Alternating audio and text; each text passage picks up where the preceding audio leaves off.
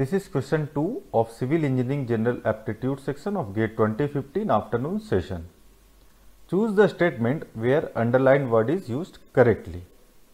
So, in this question four sentences are given and in each sentence a underlined word is given. We need to check whether this uh, word is used correctly or not.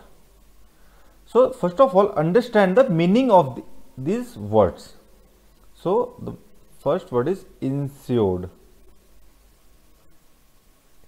Insured means covered covered by insurance insurance the another word is ensured this ensured means ensured means make sure or certain make sure or certain.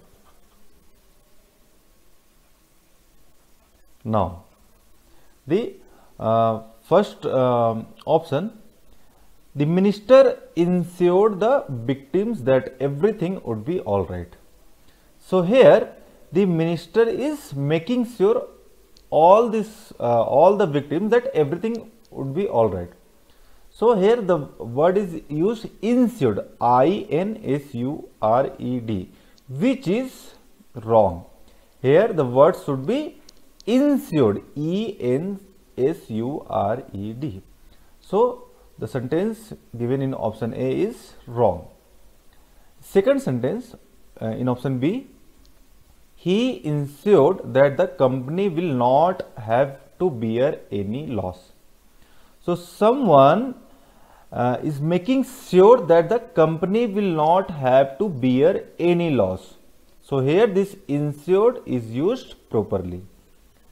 Now this uh, sentence in option C, the actor got himself ensured against any accident. So here ensured that is E N S U R D is used wrong.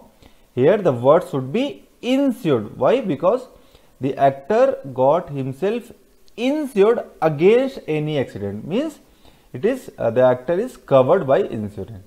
So here uh, again the sentence given in option C is wrong.